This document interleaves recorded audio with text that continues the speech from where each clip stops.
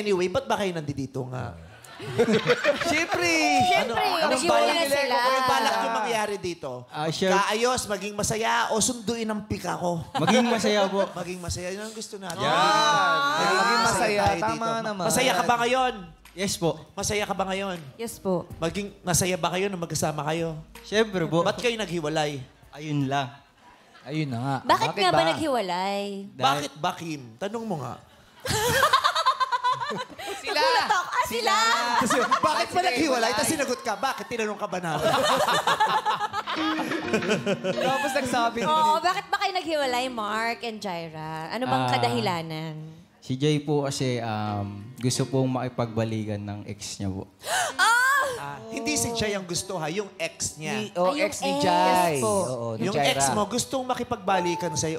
O ano naman ngayon kung gusto, bakit Oh. naghiwalay? Eh, kung ayaw mo naman na, gusto naman mo Jaira. ba? Hi- ano kumbaga, naguluhan siguro. Naguluhan siya. Ay, may, nat- may latak pa ng pagmamahal. Latak! Latak ba tawag doon? Ah, ang dumi ng latak.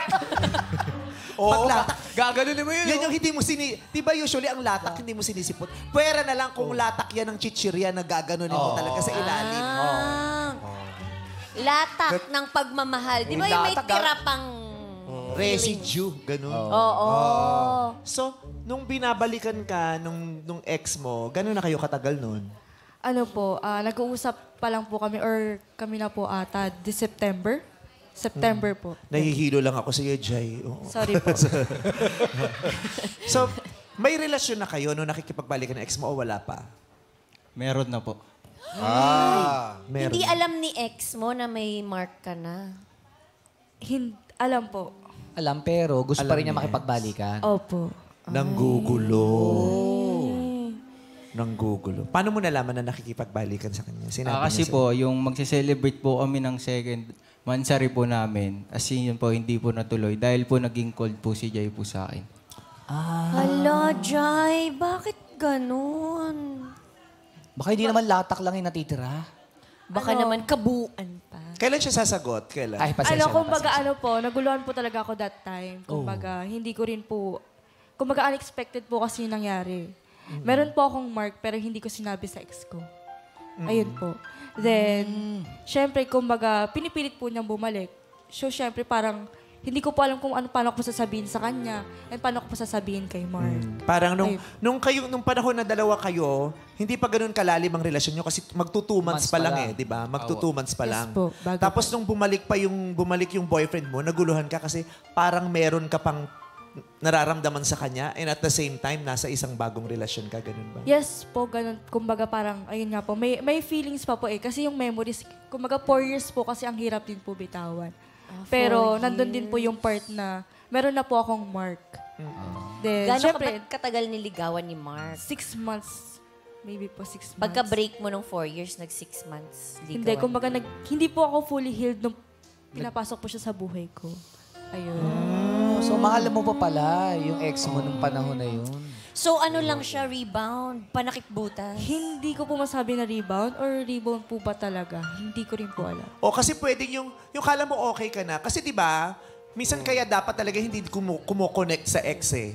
Kasi yung akala mo okay nga ka na, pero pag kumonect, yung merong maguguluhan ka talaga eh, parang may May manunumbalik kulang. o meron kang mga tanong na babalik tapos hindi mo alam yung sagot. Hindi mo alam kung, yun ang mahirap eh, hindi mo alam kung, ay gusto ko pa talaga siya or na-excite ka lang. Kasi naging bahagi ng buhay mo yun eh, ng four years, di ba?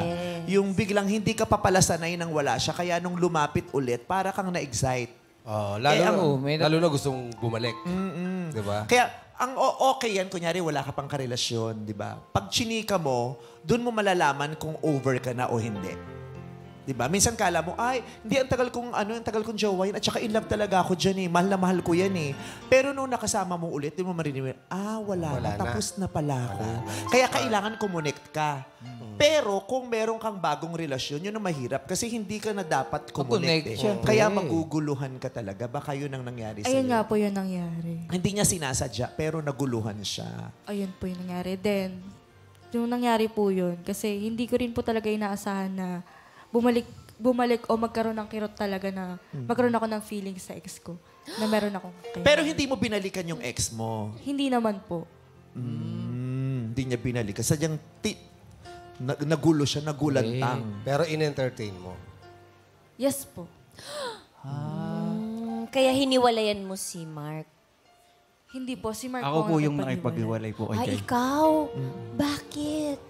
Dahil po naip- napaisip po ako nun sa sarili ko kung um, naging kami po ni Jai pero po mahal niya rin pa, ma- mahal niya pa rin po yung ex niya. Tapos ayun po um syempre po nasaktan po ako nun. Ah, ayun po. Paano? Paano yung nasaktan? Gumano. Literal. Nag- Mark, naghilab. Paano yung mga ano? paano daw yun? Yung ganun. Paano ka nasa po, Umiyak ka? Yes po.